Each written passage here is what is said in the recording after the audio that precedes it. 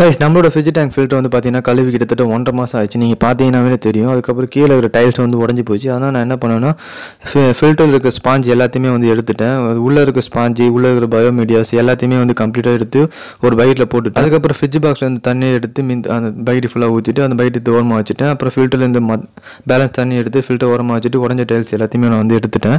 அதுக்கப்புறம் உள்ளே இருக்கிற மீன்லாம் வந்து பார்த்தேன் எவ்வளோ பெருசாக வளர்ந்து போச்சுன்னு அப்போ தெரிஞ்சுது.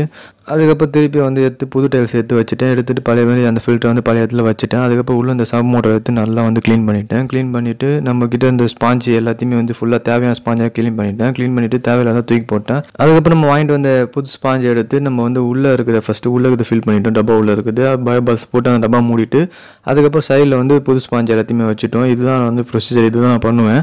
நான் வந்து புது ஸ்பாஞ்சு வைக்கிறதுக்கு காரணம் பார்த்தீங்கன்னா உள்ள ஆல்ரெடி நம்மக்கிட்ட வந்து பயோமீடியாஸ் நான் உள்ளே வச்சிருக்கேன். அதுக்கப்புறம் வந்து பார்த்தீங்கன்னா தண்ணி வந்து நல்லா ஃபில்டர் ஆகி நம்மளுக்கு லிஸ்ட்டு கிளியராக வரும். வீடியோ பிடிச்சி லைக் அண்ட் சப்ஸ்கிரைப்